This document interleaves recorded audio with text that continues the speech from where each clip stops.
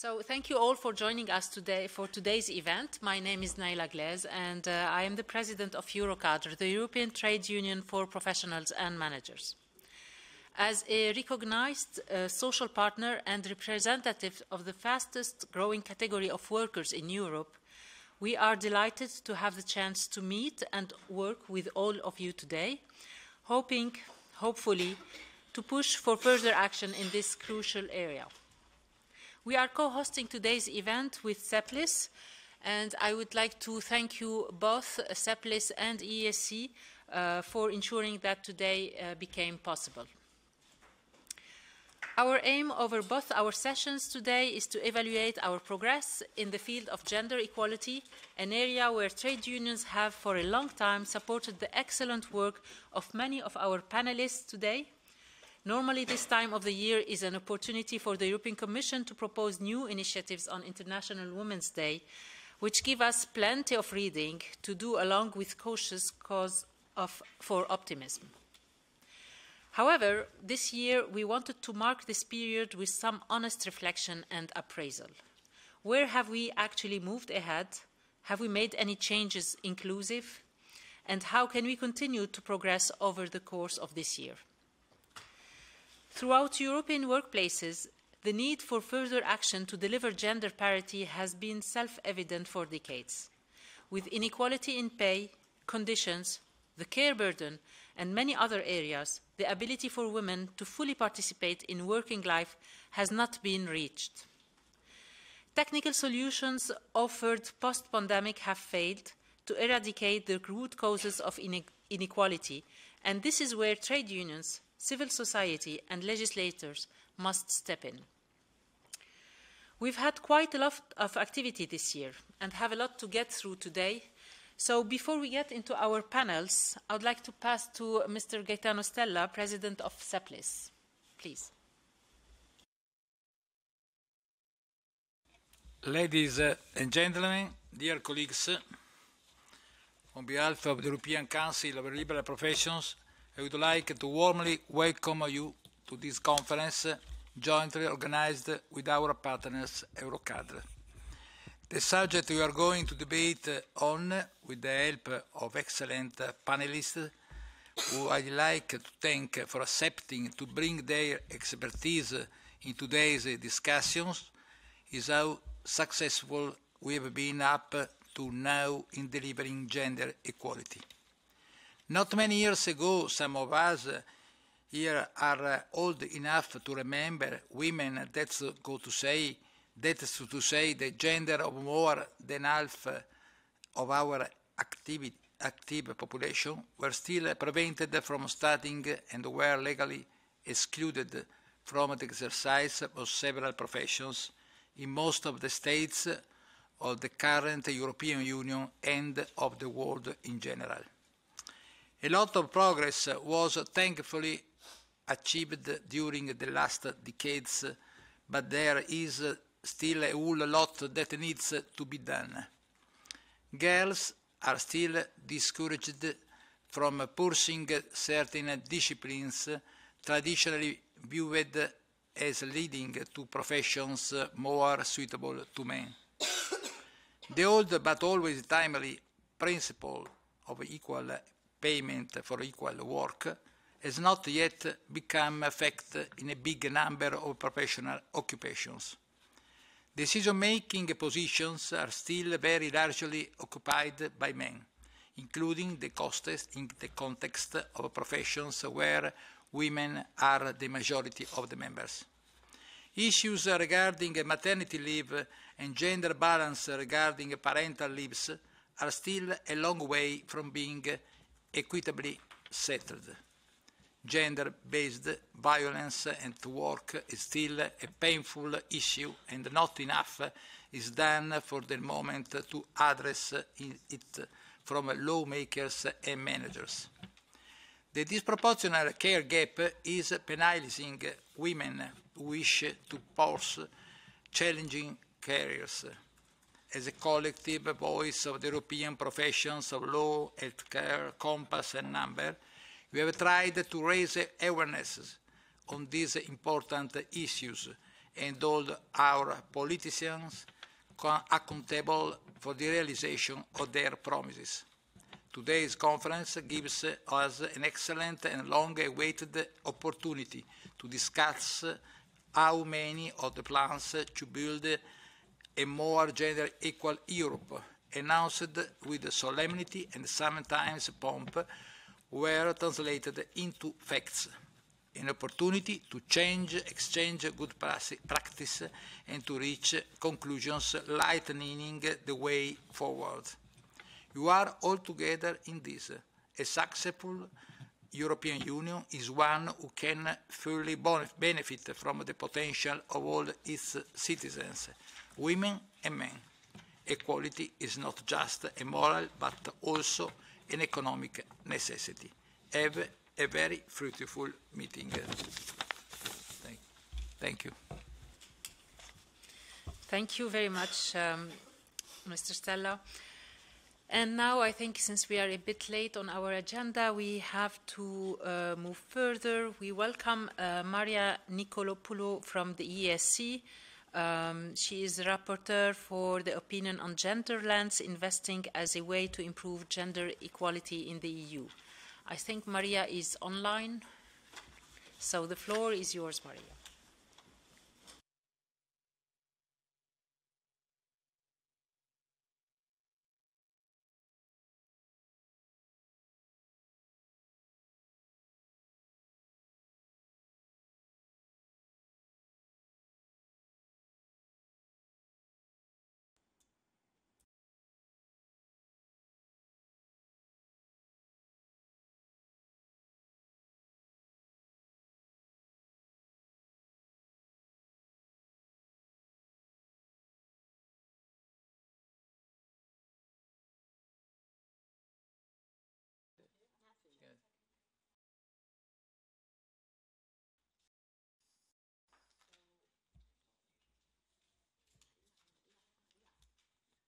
Of the organization Women's Inc. from the Netherlands.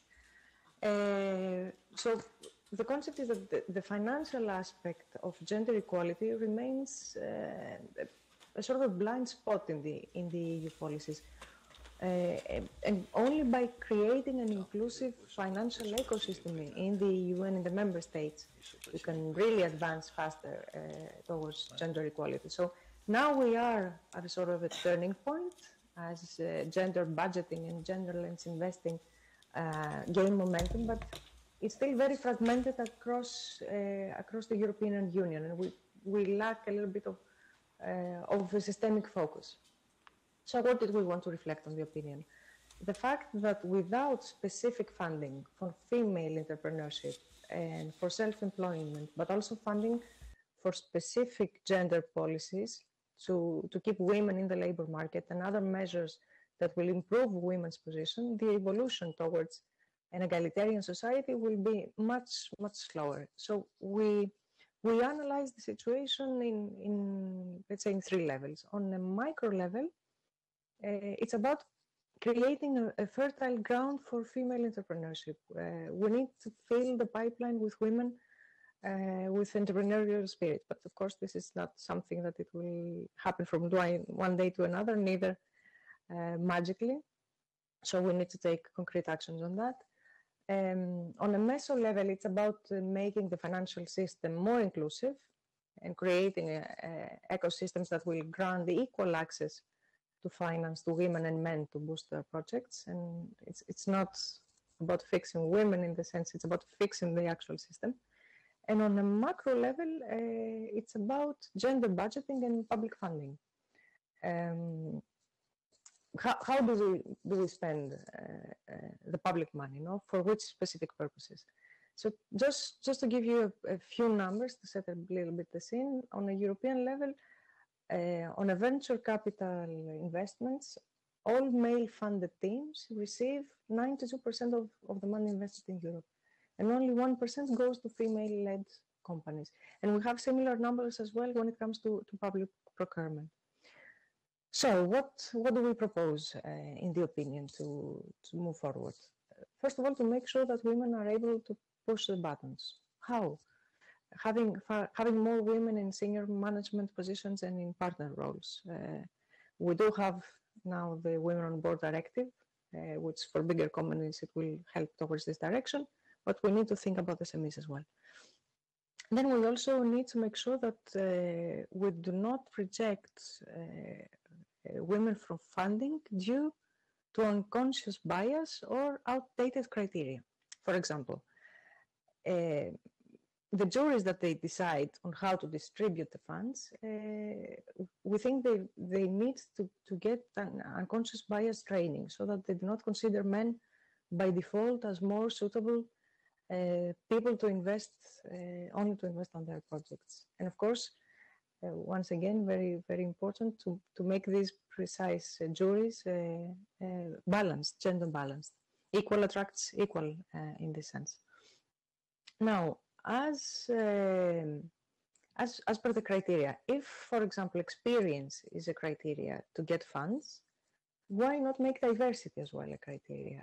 Diverse teams, they're not a problem to solve, they're actually the solution to a problem. Involving more women means better return on investment, better decision making, um, better culture in, within the companies. And, and don't forget as well the trickle down effect that companies with female founders, for example, and executives, uh, they tend to hire more women. They reach up to six six times more uh, more women are hired by other women. So another point that we wanted to highlight is that uh, to make sure that uh, women start their own business in the first place and uh, and for this, we really, really, really need to, to start very early. We need to work on education to challenge the stereotypes, uh, the gender stereotypes, but we also need to work on specific training programs uh, with for hard skills and for soft skills as well.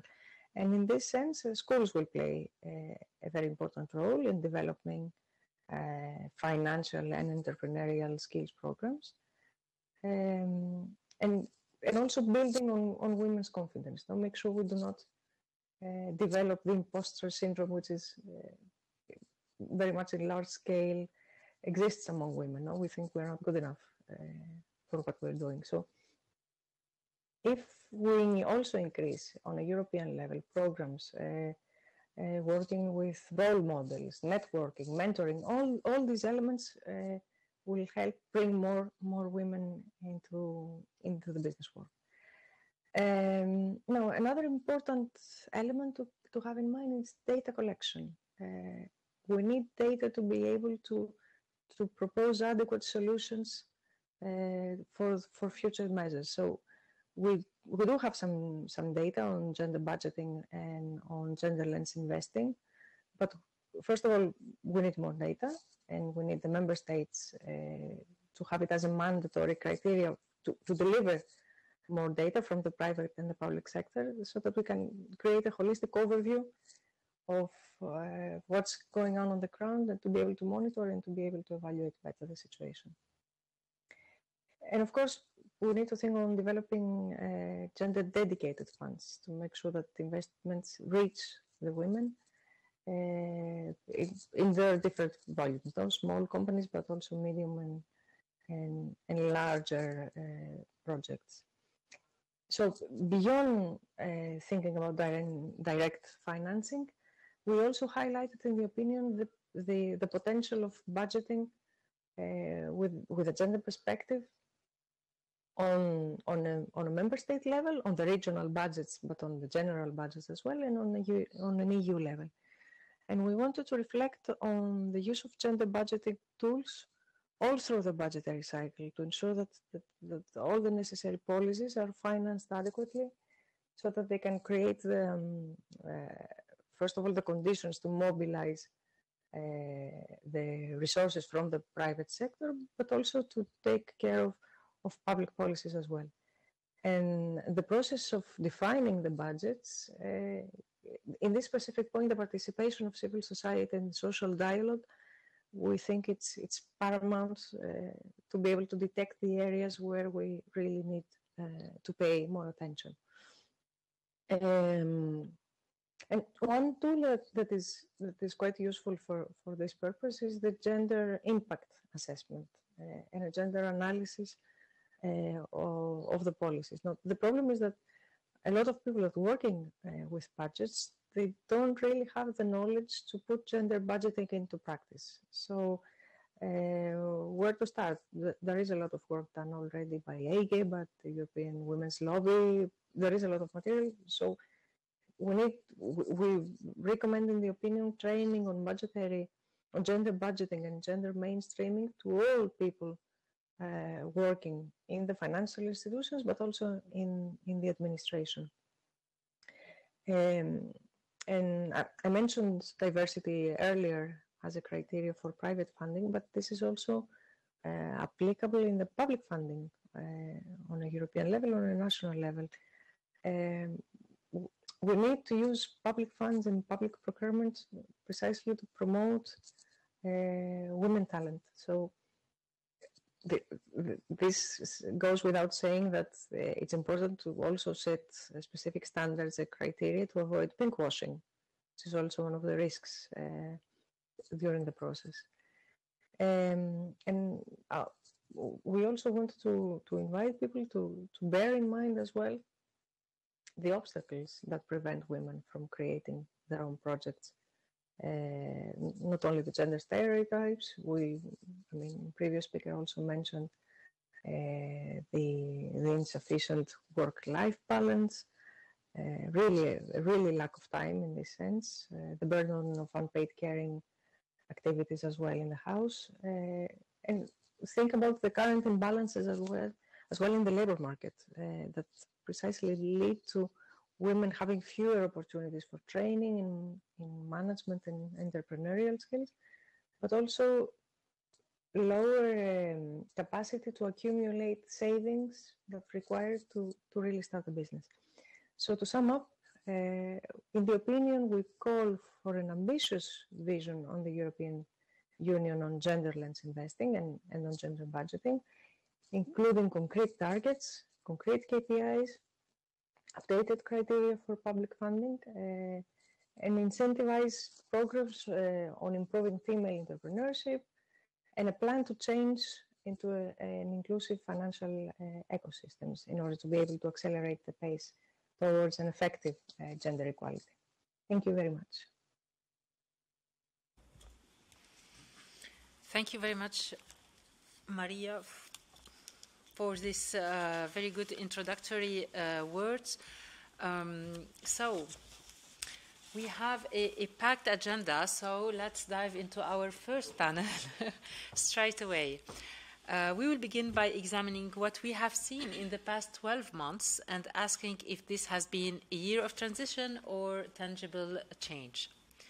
Uh, Commission von der Leyen, um, Commission President von der Leyen placed gender equality at the center of her mandate in 2019 with promises to reduce the existing pay and pension uh, gap between men and women while promoting women in STEM and leadership roles. From a European perspective, we have seen a lot of movement on new and existing files, with, I'm happy to say, a number of long-standing trade union demands included in the latest developments.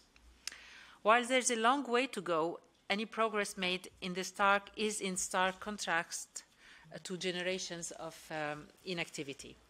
But how much, if any, change has been really truly delivered? So to discuss this, I'm delighted to be joined by some of the leading voices in the, in the fight for uh, gender equality in Europe. We have MEP uh, Evin Incir, who is joining us online from uh, Sweden, I think. Uh, we have also Dina Vardaramatou, Vardaramatou from the European Women's Lobby. Welcome. Uh, from Eurocarers, we have uh, Stecy Yghemonos, and we have also Susanna uh, Pisano from Con. Thank you very much all for joining us today.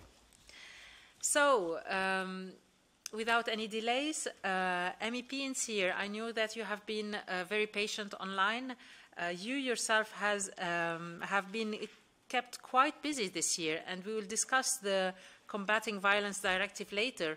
But how do you assess the progress or the lack of progress over the last 12 months? Uh, I hope you can hear us. So the floor is yours. Hear you, and I hope you can also hear me here from um, Stockholm. Do you see me? Also. Yes, we can hear you very well, and we can see you as well. Thank you. Perfect. Thank you very much. Um, unfortunately, I'm not able to be with you uh, physically, um, but but thank you for the invitation to this very uh, important event with a very very timely and important topic, a topic uh, and challenges uh, that and problems that have existed in our society for centuries, for decades, and year after year and day by day um, uh, that women and girls are challenged are facing. Um, uh, the, uh, and uh, yes, it is true that uh, it's been quite a lot in, going on in the European Parliament and the, in the European Union. But it is very important that it's a lot going on. For for for so long, very little has happened on this matter of gender-based violence. Um, in in our 27 member states as well as the European Union as a whole. Um, right now, uh, I am, or um, during last year, I had the honor to be um, uh, elected as uh, the uh, co-rapporteur for EU's first ever um, directive on uh, on combating uh, violence against women and domestic violence and why I'm saying that it's historical because it's it's the first one of its kind.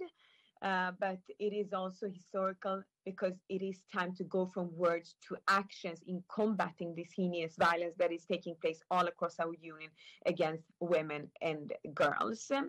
Um, we have, from the side of the European Parliament for years, uh, uh, demanded actions on the field.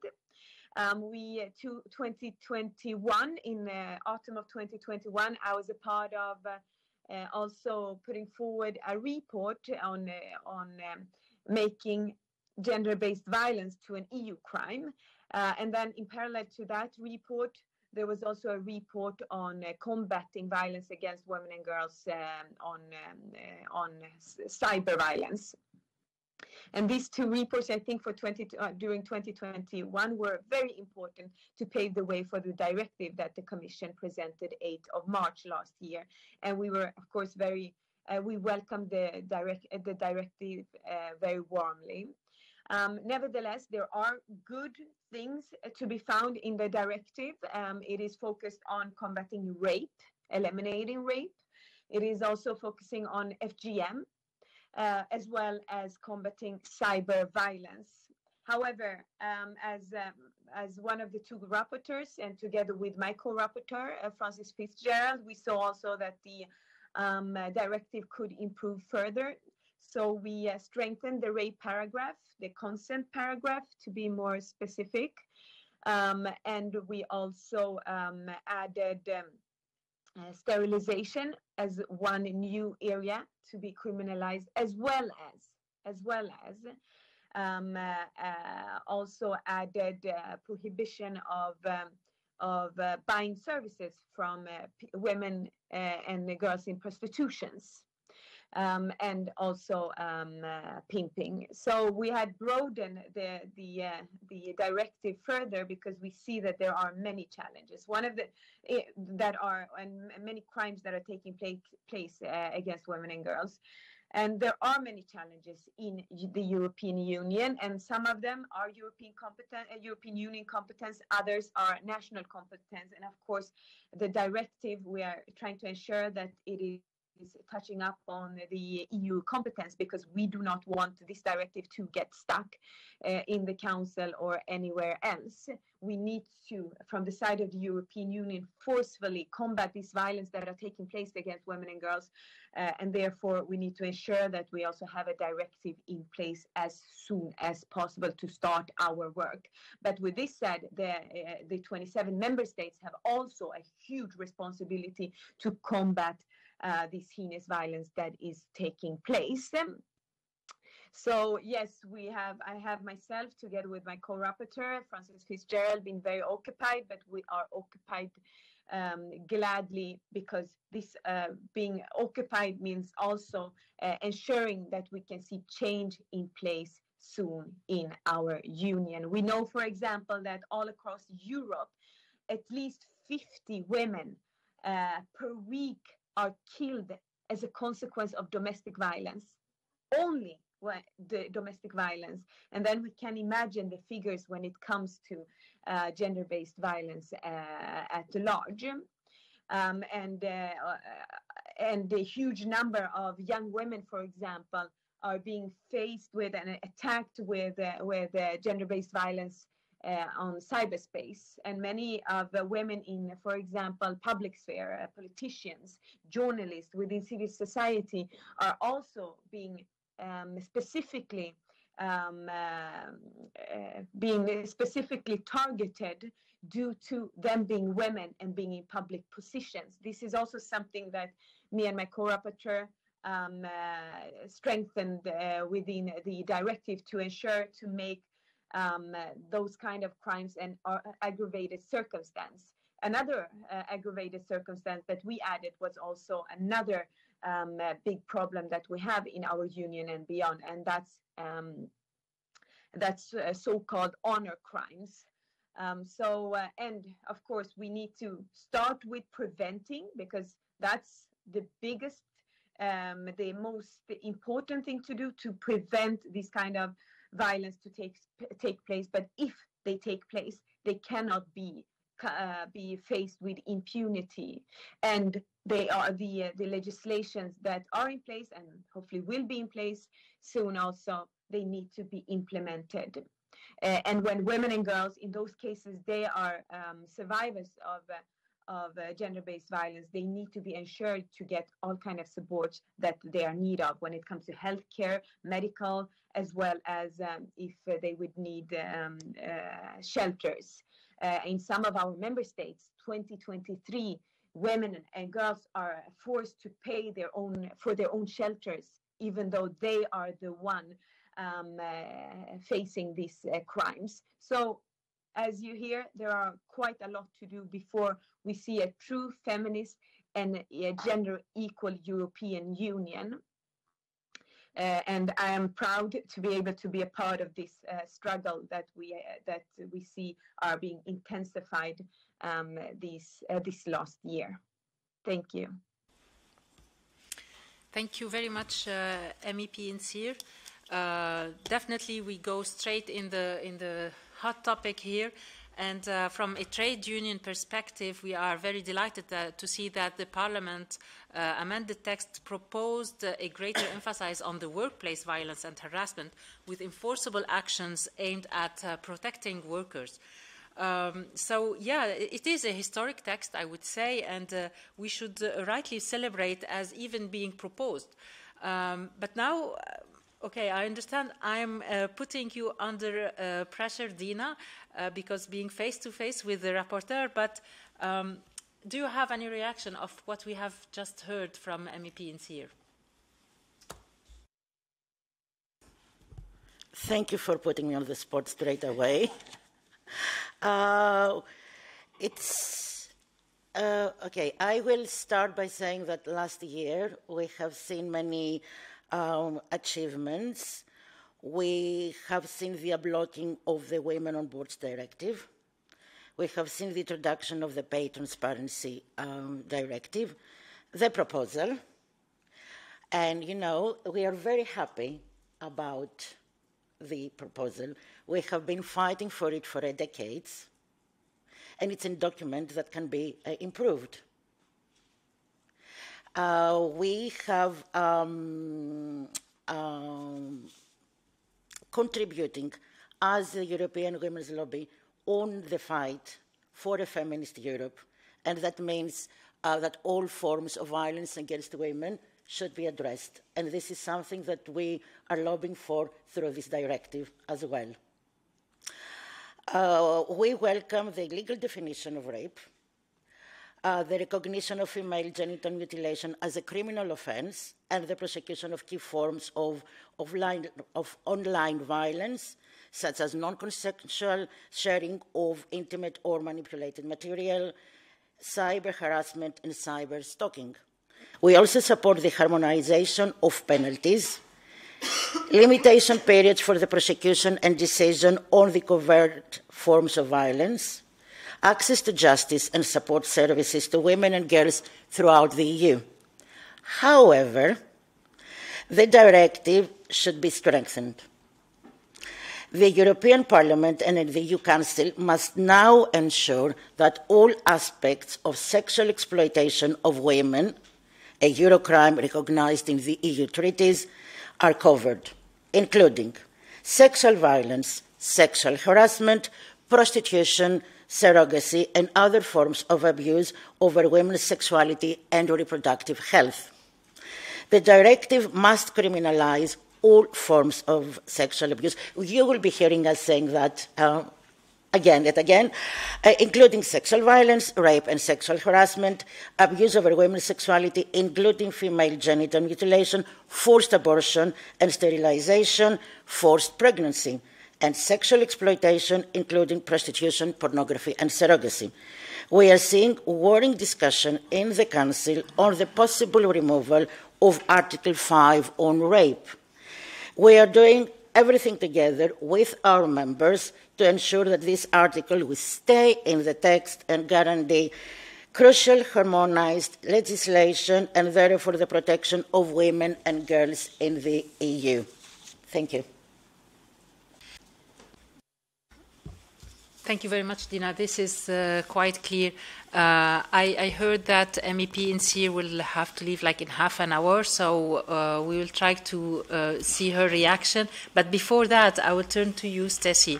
Uh, so we can see that uh, the pandemic highlighted the vulnerability of care staff in a way none of us could have expected. There are various references to care staff in the text, but does the, the directive go far enough in providing safeguards to these workers? And how uh, more can do be done in the text to provide safer working environments. Thank you, and good afternoon, everyone. I actually bring a pretty specific um, perspective on the, on the issue of gender equality because we represent informal carers at European level, that is, people who provide usually unpaid long-term care to a person with disability, chronic disease, or any other long-lasting care needs. Um, we are obviously in the context of uh, an aging Europe with growing, uh, a growing demand for care, a declining supply as well, and a lot of quality and sustainability challenges when it comes to the future of our care system. So at this stage, you may be wondering what's the link with gender equality? Well, the link is, um, is actually simple. Uh, a huge majority of the professional long-term care workforce uh, consists of women. More than uh, than 80% of professional long-term carers are women. More than 60% of informal carers are also women. Uh, obviously, women provides the lion's the lion's share not only of informal long-term care but also, of course, childcare in Europe. And, um, and I would even go uh, so far as to say women also uh, experience more long-term care needs as they grow older than men. So when we discuss care and caring in Europe, the gender dimension is at the very core of that discussion. And so our take on the topic is that we cannot address the future of care and caring in Europe without, without looking at gender equality first. Now, coming back to your question about the impact of the pandemic, the positive impact has been that suddenly um, a majority uh, in, a, in continuing a continuous number, growing number of policymakers have come to realize that we should pay attention to care systems in Europe and again to the role of women in the, the, um, the provision of care. Um, and uh, to build on what was said by my predecessors, um, beyond the, the, the, the, proposals currently on the table, there are other instruments actually that were put forward in the last two, three years by the Commission where the gender dimension is also extremely um, prominent. I'm thinking, for example, of the recently launched EU Care Strategy, which is, which is obviously uh, now our new Bible for the future of our activities uh, where gender is, is a central question uh, addressed. A few years ago, we also uh, spent some years lobbying uh, hard to make sure the, the, perspective of informal carers would be captured, and it is captured in the directive on work-life balance for parents and carers. That's also on the table, and there again, the gender, the gender dimension is very strong. So there are now many instruments on the table we, that we can use to, um, to, to, push for a more gender equal Europe. Um, the, the, challenge we're seeing in the future is enforcement, implementation at national, regional level. A lot of member states are still reluctant to uh, transpose these directives or, you know, are watering down the, the actually the, the, principles of these instruments as they translate them. And um, we're still very much, you know, it's still very much work in progress. So to answer your question, uh, yes, it is a year of transition. But uh, we're hopeful, let's say. There, there, are many, many tools in the toolbox now. So we hope to, uh, that you know, this will make a difference in, in, in the near future. Thank you very much, Stecy. And uh, now I go to Susanna. And Stecy mentioned that there may be pushback from member states as to the legal basis of, of this directive. So if you could send a message to the national politicians, Susanna, what this message could be.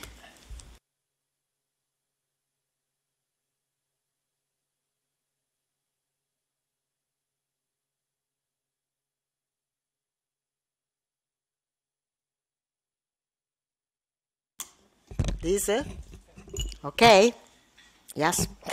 Uh, so I think uh, uh that uh, um, gender question, violence, gender balance, uh, income of women are a, a principal question in the future for um, a modern society.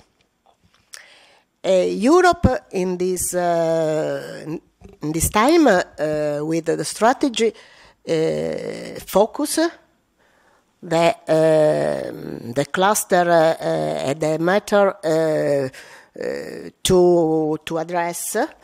And I think that stat member state had, has to have to to adopt uh, law, European law, but improved and uh, uh, correct uh, implementing. the, um, the control of the European level on the correct implementation of European legislation is slow, very slow. and the procedure of infraction I don't uh, see the, the end of this process. So, uh, in, a, in the matter of violence, for example, uh, is a, a, a fact, uh, uh, a correct fact, that uh, the violence is a human right abuse a fight uh, uh, against the violence against the woman is a normal, correct um,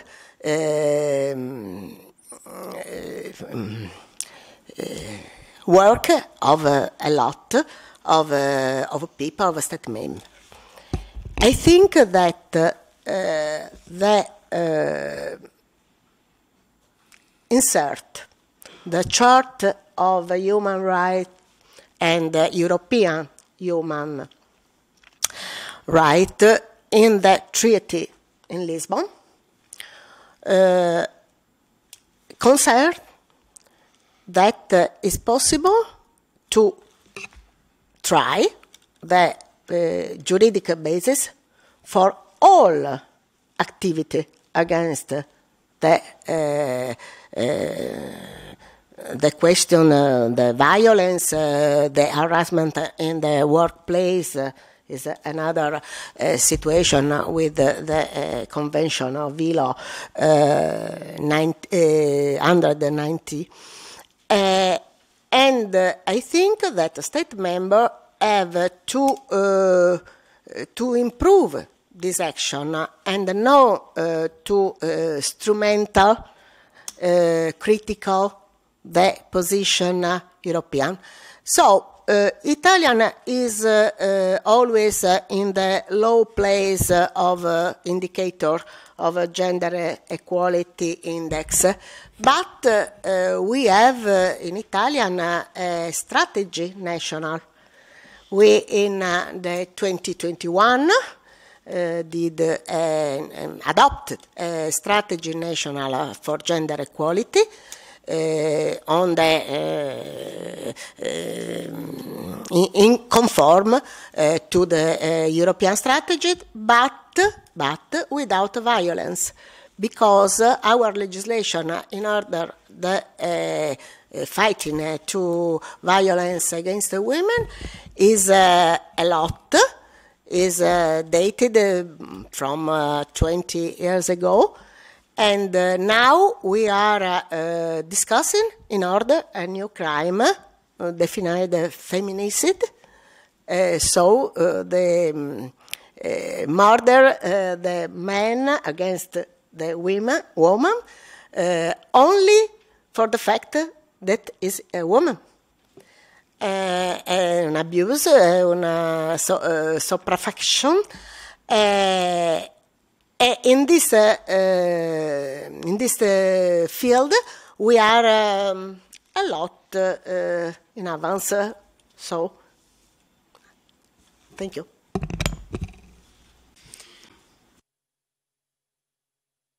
Okay, yeah.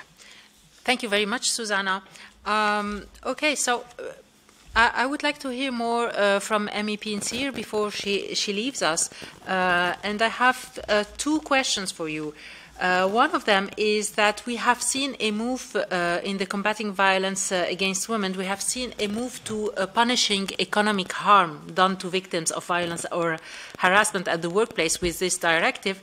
And is this yet another example of how we must address gender based on a holistic level, uh, taking into account not only the physical and mental impacts, but also the ability to work and participate in society?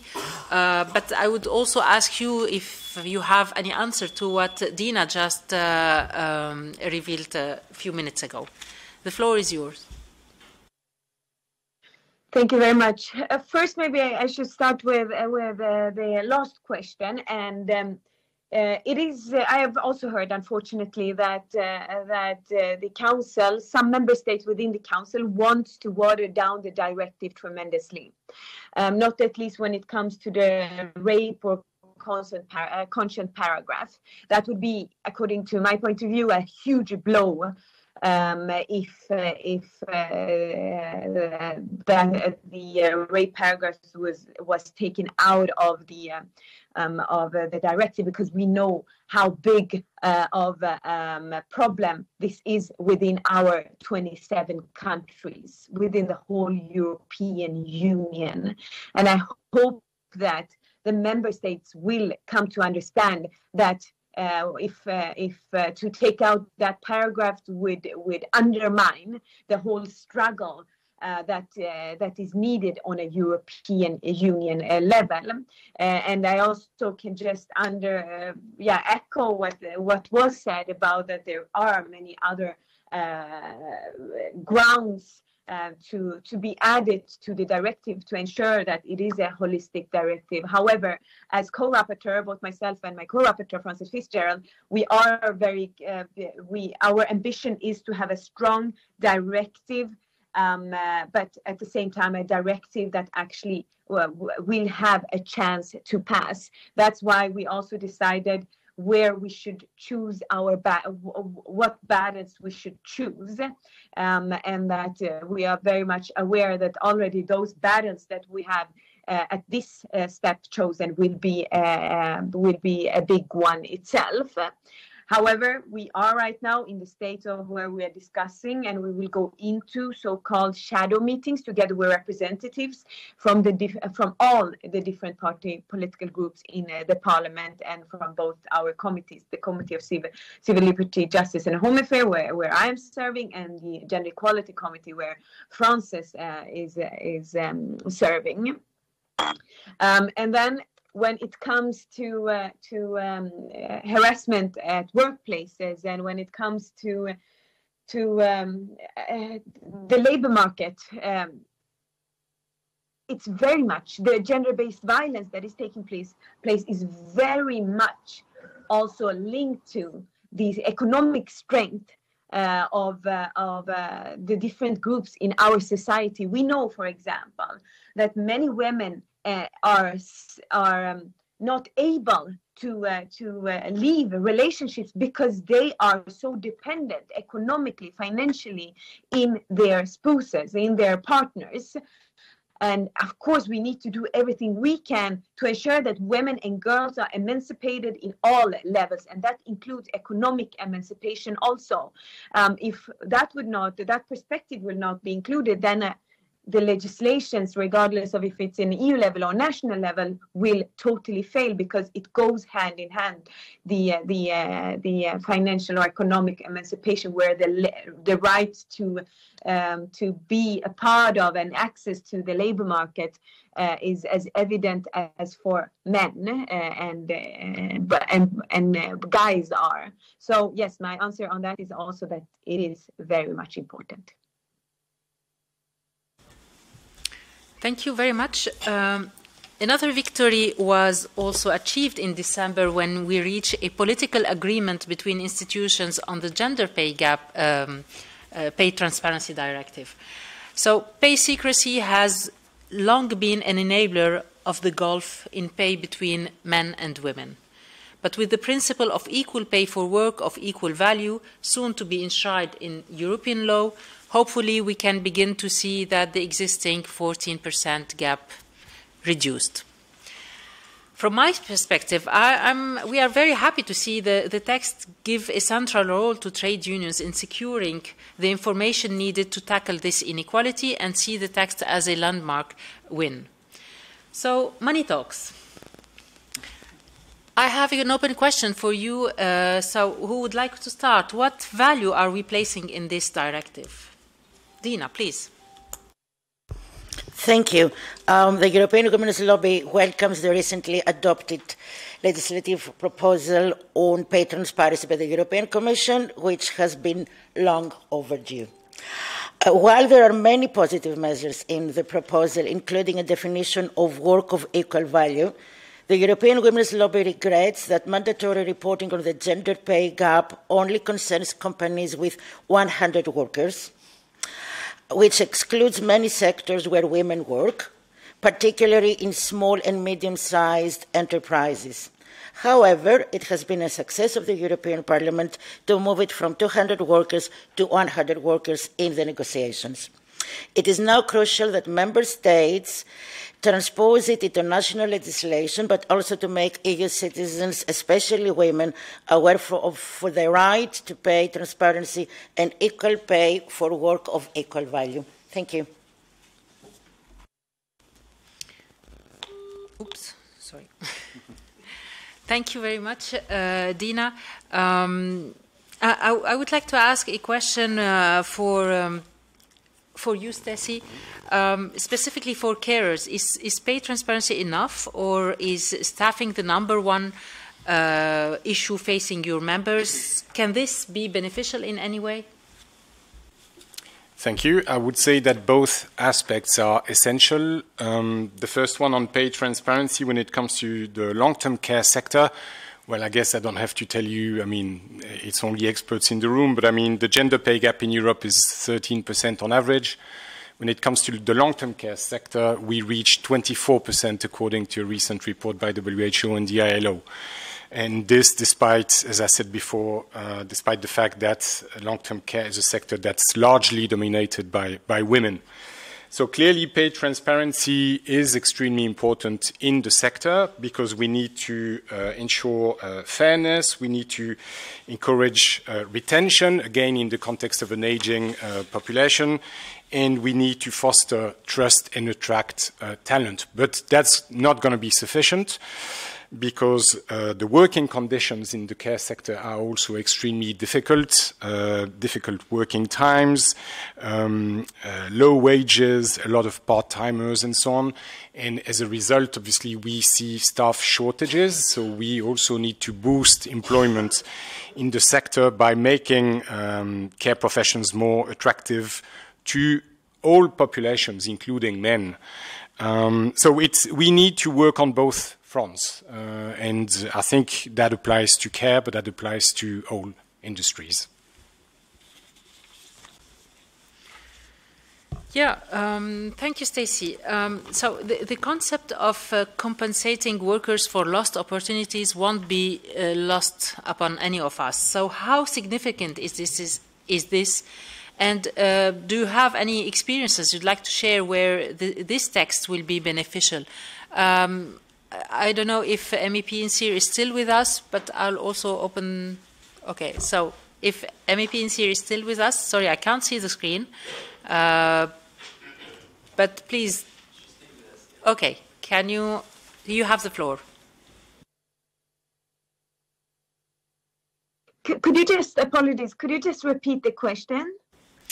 Okay, so the question, uh, First of all, uh, generally, if you have something that you want to share with us on the Gender Pay Transparency Directive, um, we, we, we know that um, it was like a miracle that we uh, uh, had this uh, directive in December, but also um, um, if, you, if you want to share any experience with us where this text is beneficial for you.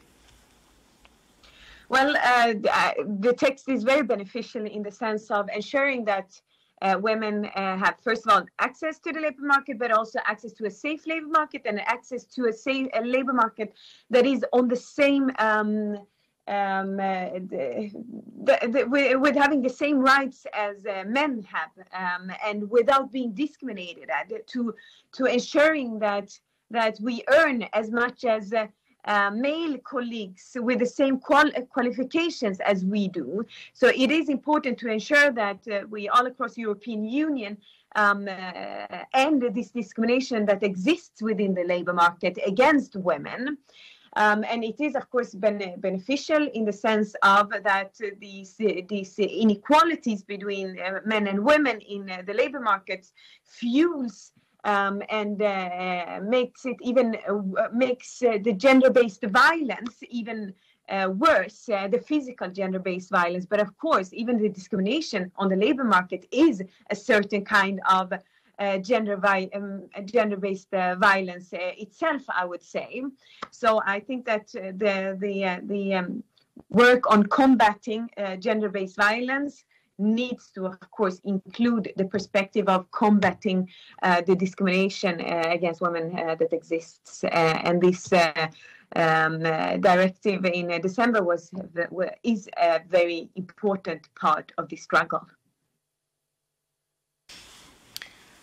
Yes, uh, definitely. I mean, as, as, trade union, we are very happy uh, that we got this directive for, for three reasons. One of them is uh, like the information is crucial for us to, to reduce the gender pay gap. It's impossible if we don't have the information. We can't compare it with uh, other employers, other regions, uh, uh, other sectors. It's impossible also to, to reduce the pay gap. The second important thing that we had is the, that the role of the trade union is in this directive. We can uh, have pay assessment and contribute to pay assessment and be able to support our colleagues and workers uh, in asking these information. And the third one, I would say, and this is one of the most important one, is the reversal of the burden of proof. It's not on the worker to, to ask uh, to, to prove this, but it's on the employer side. And this is something important that will uh, help us because otherwise it's so difficult for workers to uh, prove um, the, the, the, pay gap. Um, but this, I mean, this year we have had uh, three directives, and uh, um, also we had the Women on Board directive uh, that was like for like 10 years, uh, we didn't hear about this directive, and suddenly it was adopted, so which is great. Um, so the pay transparency, along with the Women on Board Directive, will surely help to elevate women to leadership roles in our organizations throughout Europe. So, um, what do you think additional barriers are needed to be removed to enable this? And is the legislation really the only way to provide women with equal opportunities? Who wants the floor? Susanna, please. Yes. Uh, um, the gender gap uh, um, is uh, uh mainly caused by the part of salaries uh, that has a variable uh, character. So, mm, bonus, uh, productive, uh, and others, um, and the others, uh, the other uh, sense, by the difficulties in balancing work and private life for women which obliges uh, women to work at a reduced time to work part-time and often fragmented uh, work uh, rhythms. Making uh, an obligation for employer, employers to represent earnings in comparison between men and women and women, and in all its element, economic and in the way in the work is accomplished, means making it possible to investigate deeply the less causes of the gender pay gap and to take effective rebalancing action. The two, uh, the, um, yes, the two directives, uh, pay transpa transparency and women on boards, are uh, certainly an important tool for uh, uh, legal civilization, civilization, so that helps women's leadership to stand out. In order to achieve a complete gender equality, however, a cultural intervention is required that begins in society and contrasts a vision of a society based on gender stereotypes that includes uh, women in cages, starting with the family and the work. The fight against gender stereotypes must start with children at school. In addition to legislation, which is an essential tool to guarantee compliance with the principle of equality, parity, equal opportunity. It is essential to create in society a real, grounded feeling of gender equality so that there are no longer any roles, any profession, any activities that women cannot uh, carry out.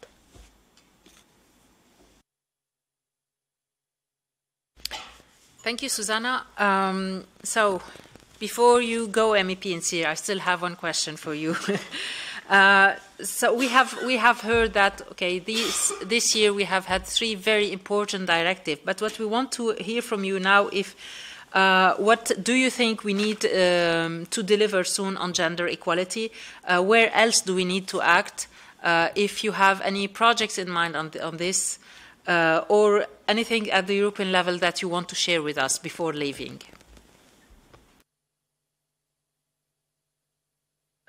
Thank you very much. Um, um, well, right now there is a discussion uh, within the European Council and within the European Parliament, also in the Commission, so all three bodies um, on the ratification of Istanbul Convention, which I think it's uh, important to mention also. Uh, and it is a huge step uh, taken right now in the Coreper. There has been a decision, as far as I understand, that they will go ahead uh, in one of the upcoming um, uh, council meetings and uh, and uh, try to ratify the Istanbul Convention with a qualified majority. That's an important step. However, one of the worries that I have also I have uh, after getting to know that it's not the whole Istanbul Convention that uh, is on the table. It is those part of the convention that are um, as uh, EU competence, which means that huge part uh, of the Istanbul Convention will not be ratified by the by the uh, um, Council if it uh, if uh, if they do um, what is on the table right now. So I'm glad that there are positive steps, but at the same time, I'm worried that it's not the whole Istanbul Convention we are talking about. Um, uh, that also shows the importance of the struggle um, of for a gender equal European Union uh, being taken on a European level uh, and on a national level that this needs to go hand in hand. So Istanbul Convention is also one of the important um, areas that I also wanted just to to uh, to highlight on. And I think we we need to intensify our struggle um, of uh, the ratification because we have six member states within the European Union um, refusing to ratify the convention. At the same time as we had one more uh, member state, as Poland, who have uh, previously declared that they would uh, the government have declared that they would like to withdraw from the uh, Istanbul Convention uh, as soon as Turkey uh, withdrew, which is not an EU member state, of course, but Poland is, and it is worrying when uh, a country who has already previously ratified it declare that, their intentions to uh, withdraw it. And I just wanted to also once again say thank you very much for for uh, inviting me to this discussion. And I apologize. I also need to go a bit uh, a bit earlier. Uh, but this is really an important um, topic that we need to continue having and continue keeping alive until the day um, the violence against the women and girls are eliminated uh, wherever it takes place, and that also include, of course, the working places. I would like to thank you as well uh, very much for your valuable um, contribution to, uh, to our panel debate. Uh, and thank you for the whole work done on uh, combating violence uh, against uh, women and domestic violence. and indeed, the, the um, Istanbul Convention is like very, very important. Um, so now we still have, I think, how much time? We have uh, 20 minutes, no, 30 minutes uh, before the questions. I have some open questions for you, but if there's anyone who wants to raise, who has a question to the panelists, please do not hesitate. Otherwise, I can ask questions. please.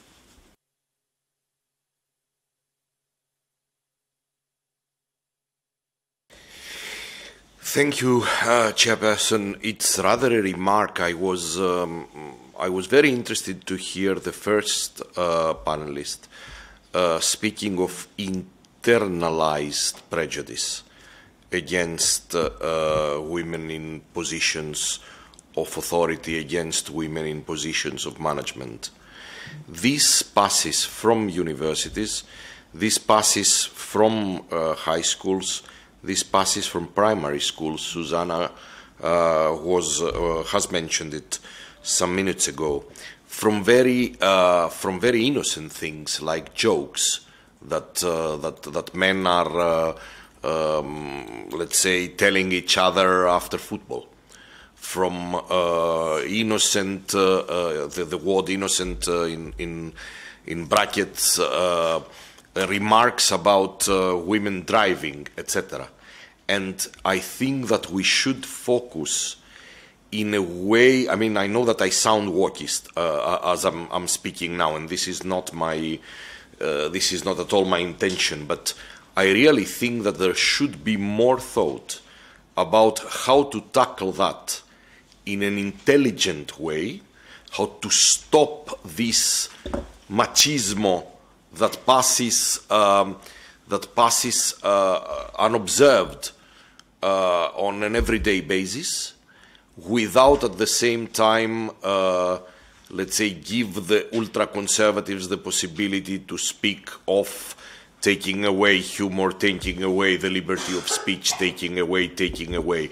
There should be a reflection on how to stop um, laughing at the expense of women and creating stereotypes without at the same time being accused uh, of liberticide or of lack of humor. Thank you.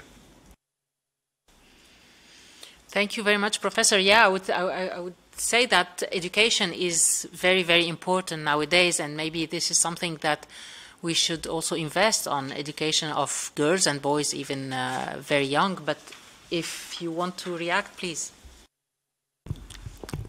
thank you for pointing this out. It's not only women in humor, it's, on, uh, it's women in sports as well. It's women in media as well. And I couldn't have agreed with you more that we need to tackle the machismo, sexism, also the not so visible forms of all of them, the hidden even institutional forms of discrimination and what keeps these discriminations alive. And I would like to, since I have the floor, thank you, um, to also mention that we need to change the narrative because if we keep on working how to tackle all this but without changing the narrative, then the progress is getting slower. And I would like to give you an example. We, we open the newspaper and we read an article a woman was raped last night at the campus. What if the heading of the article was Two men raped a woman last night at the campus?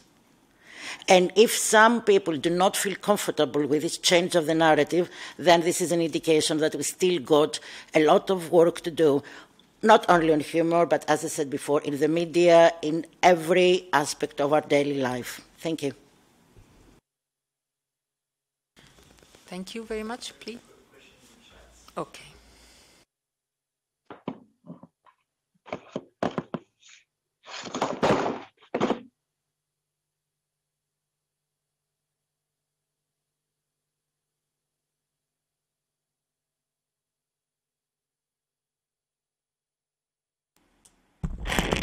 Ms. Barrero, can you hear us?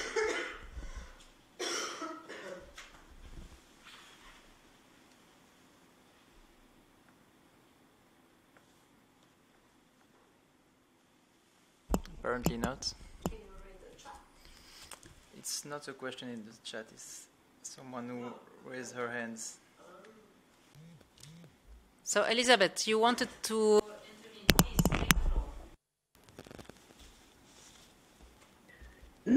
yeah, thank you, if I may. Good afternoon, Elizabeth Barreiros from UGT Portugal and also member of uh, Eurocadres Presidium. I just wanted to to comment further to the last um, what, what what has been said lastly about education, because what we see uh, actually is that in practical terms, nonetheless, all the measures taken, campaigns, uh, and so on, pay gap and women's precariousness and violence are growing everywhere.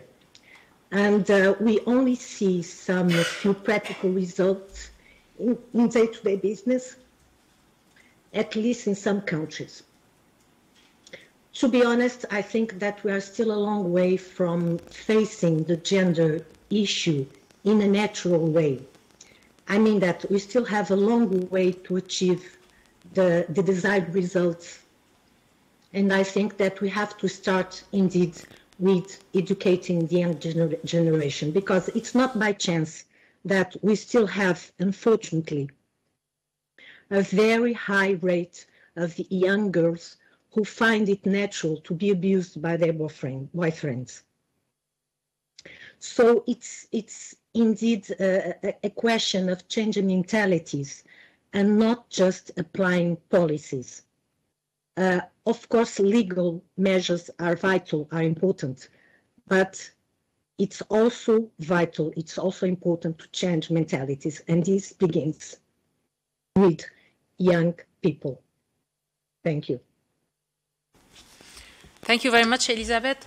And yes, indeed, Elizabeth pointed out a, an important point also for us is that uh, um, how, how do you think we can be uh, more effectively uh, outline, how can we more effectively outline the work being done uh, to European citizens, many of whom are impatient for change, we can see that, uh, and how can we show that the European institutions are a vehicle for progress? How can we be more close to the citizens when it comes to these very important and very complicated uh, topics?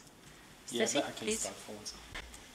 Thank you. I'll, I'll, I'll, answer your question, but I'd like to answer some of the previous questions as well, if, if I may, or at least do my best to try and answer them. Um, on your last question, yes, education for sure. I think, quite frankly, EU institutions could be better when it comes to communication towards the citizen. National decision makers too often use uh, EU institutions as a scapegoat for everything that's going bad you know, every time we have a new national election, we hear how Brussels, you know, imposed something new and, and usually bad on, on the country.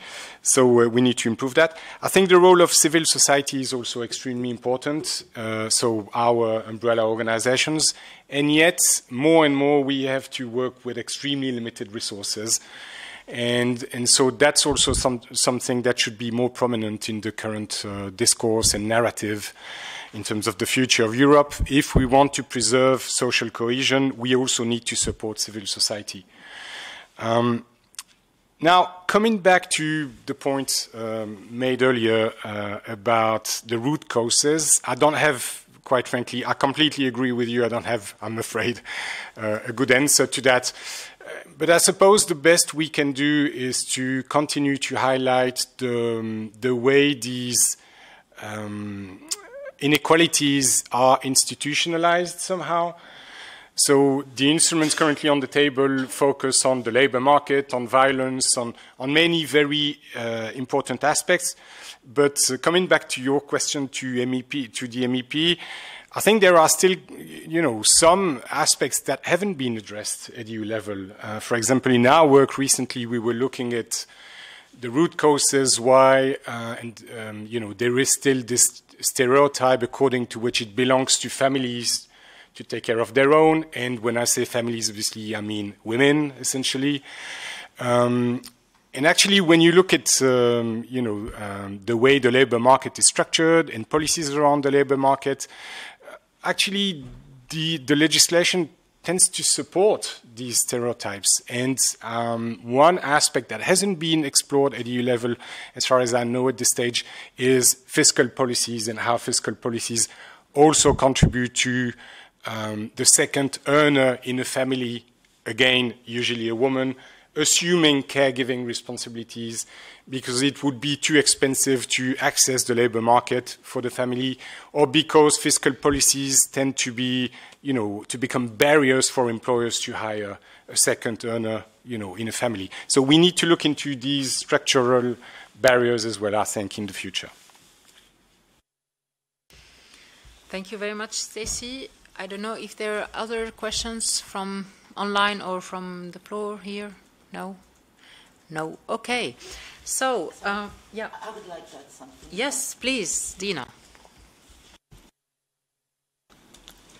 Um, apart from the family issues, we also have the women in politics issue.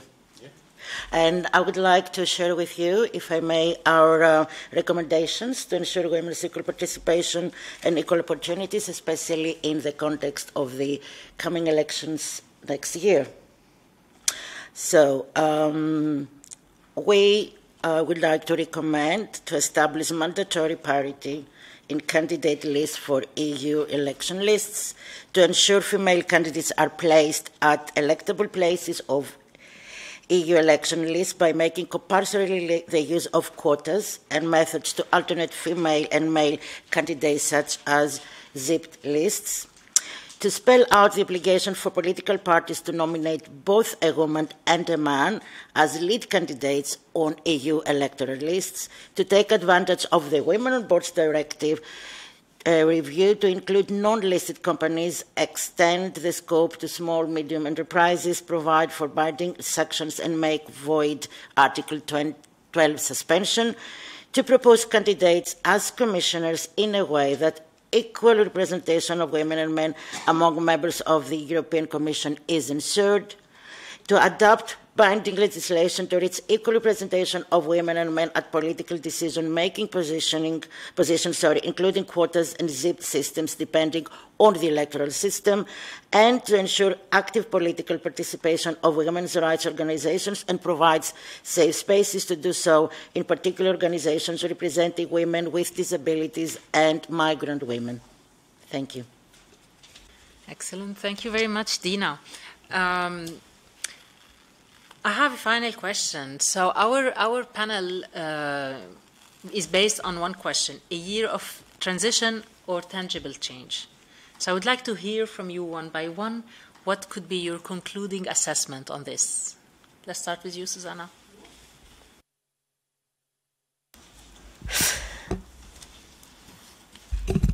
This time is a necessary uh, transition, but uh, uh, the uh, the address of our uh, action uh, is neat.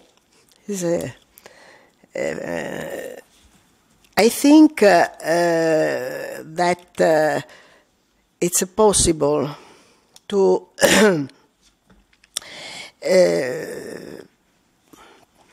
think and desire uh, gender oriented, uh, I would like uh, it if uh, information, media, social media, uh, stop to represent the achievement of top roles by women, include sport, when said Theo, as something abnormal or in any case exceptional. We, we women, are uh, the uh, 50%, over the 50% of uh, human race. And so, no, uh, now uh, our uh, role is the same of the men. It's natural. This is natural. The other uh, situation are unnatural, are uh, illegal, so illegal. In the political, we Italian have an index um, growth in the past time, six point, because we have a legislation with the um, le, le quote, mi ricordo come si dice, eh, le quote rosa cosiddette, quindi le quote gender equality and uh, men and women that are not in the list of candidates in the uh, over uh, the, the 30%. So it's uh, have a, a great growth, the presence of women in, uh, eh, in political, eh, in parliament.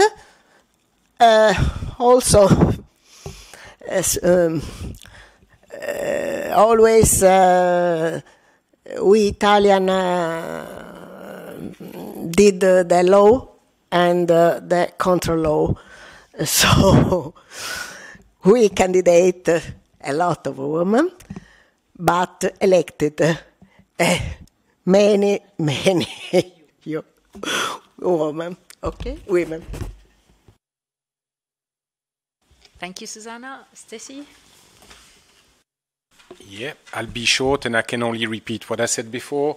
Uh, definitely transition from our perspective. Um, but we have a lot of instruments on the table, very promising instruments between the you know the directives that were discussed today. I mentioned the you know the, the care strategy, the work-life balance directive, the gender equality strategy. There's no excuse anymore. I mean, we have everything on the table. We know enough to act. So it, now belongs to member states to implement and, and make a difference. So yeah, that's what I, I would say. Thank you, Stecy. That's promising. Dina, please. Yeah, I would like to go a little bit further from what Stecy said and uh, make our public commitment that the European Women's Lobby will uh, keep on working with all its members, more than 2,000 uh, women's organizations on the ground, bringing their voice to Brussels bubble and make sure that everything is included so as to have these, um, uh, the instruments we have, and they are many, and may I say that there are many, we're very happy about them, but they also highlight that there is more that need to be done. So uh, please accept our commitment to working hard. Thank you. Yep. Thank you very much, uh, Dina. Um, yeah, can I just begin by thanking you all, the panelists today. It was, um, uh, it was a very nice discussion that we had. Uh, I think that we have a small break now before we go to the second panel.